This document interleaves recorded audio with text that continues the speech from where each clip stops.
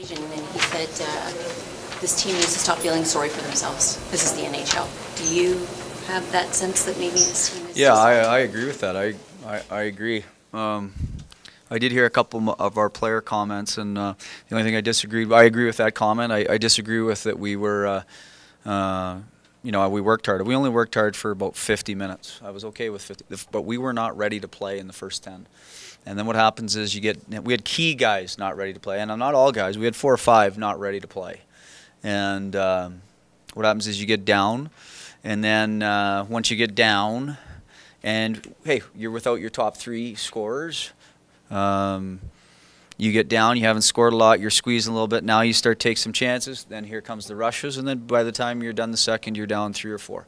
So um, that that's just a script that we had to get away from. Um, for me, um, of all the, the the losses that we've had here lately, this is the one. The other ones, I thought we, we put in efforts, full 60 minute efforts. Had trouble scoring. We're a little snake bite. We're going through it, but this is the one there that I, I was uh, disappointed with the first 10 minutes. We weren't ready to play. Key guys.